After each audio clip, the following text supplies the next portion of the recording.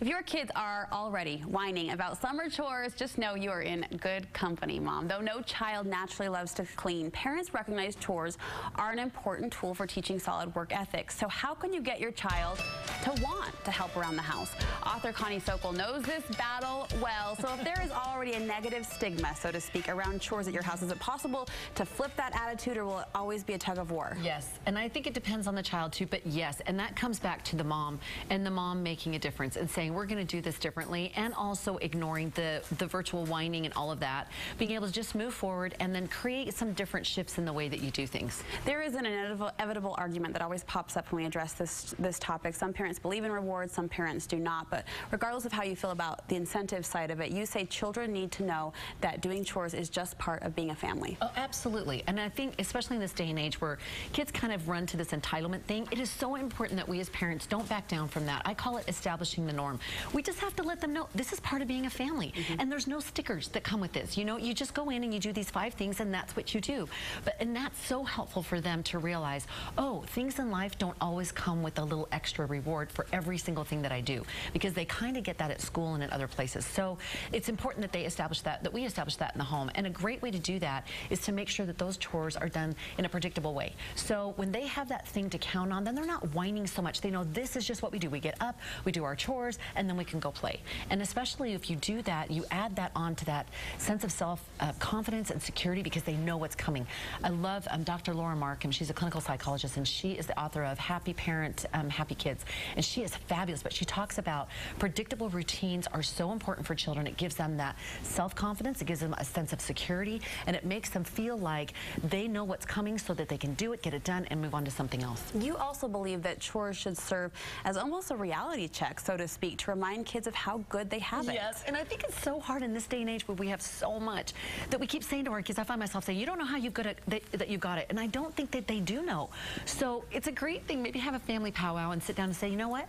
Dad and I were talking and we were thinking it'd be great to do a big family project like every day, Monday through Friday. Wouldn't that be great? And then the kids go, and then you wait, and then you say, but then we thought maybe be really responsible with your time and energy. Maybe we could just do it once a week. I don't know. What do you think? Give us your opinion. And then you get the buy-in because they go, oh, we could have had to do it every single day, those grody garage boxes. But now we just do it once a week. Oh, that's great. So help them to understand and even give them experiences. I volunteered our boys to go and do a dairy farm thing on, you know, for a day where, the, you know, they go and they learn what it's really like. And then they come home and clean cleaning the toilet doesn't look so bad. So it's a good thing to do. You can make that comparison for exactly. them help them see. A stanchion versus a toilet. Easy.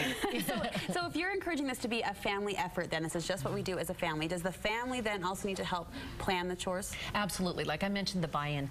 The more that you can get the kids to be a part of that buy-in, the less whining you're going to have. So sit down and brainstorm what are the chores instead of just shocking them every day with this is what you've got to do.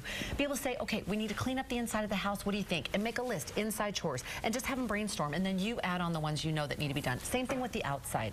And then to not overwhelm yourself so that you outline every little thing, you can cluster the chores that need to be done. So inside would be daily chores, and then bedrooms, and then zones, so that every day you're not saying 15 things. Mm -hmm. You just say one thing and they know, oh, it's the cluster chore, that's what I need to do. How do you recommend parents handle the reward system side of it? You know, there's a very, the variety of ways to do it, but we found really good success with doing mini and max rewards. So, like I said, not everything gets a sticker and some things just don't get anything, but we do some smaller rewards, maybe free things um, for them, like maybe a specialty popsicle when they're done, or if they've done a really good job, or maybe we do a shake at the park, and then you can do things that are a little bit more bigger ticket items, or maybe places that you go as a family. If we get these things done, then we can go to this place.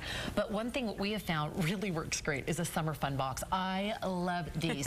it so gets the buy-in, but it's just, you get dollar store items that they choose, and then some bigger ticket ones that I got on sale, and then this is for extra good behavior and extra good doing, extra good attitude. It's not for the regular little things. And so once a week, like on a Friday, they get to choose something from the fun box, and oh, it keeps them going all day. And of course, this Look is at that 12. It's so fun, and this is like 12 and younger for sure. But it really, they will work for that decorative wall clock. I mean, they are so excited. So you it's good. Four toilets. You can. I'm here with no whining. Okay.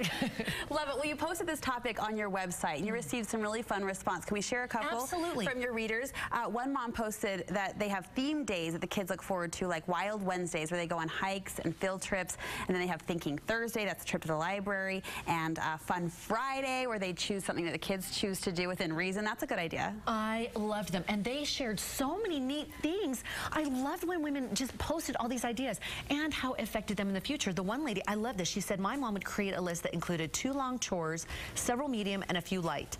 And then she says when my sister and I started college, we could actually function on our own as adults. I remember my sister going to college and saying her roommate didn't know how to boil water. And I thought this is this is what we're Uh-oh. doing. Yeah. Instead of just letting loose in summer, we still can, but you can do just a little bit. It takes a short amount of time. Maybe an hour and a half every morning for our chores and then our power hour of reading, writing stuff. That's it. The rest of the day is play. Connie, thank you so much. We always love your parenting advice, but we also love your writing when it comes to fiction stories. You have this novel out that I tell you what, I kicked back in the pedicure chair, soaked it up. It's a really, really fun read. It is on a special deal right now. It's Caribbean Crossroads, and today only it's $1.99 on ebook for a fun, clean, zingy, fun summer read. So it's great. It is. It's that clean romance that we Yes. that we crave. Connie, thank you Thank so you. much. All right.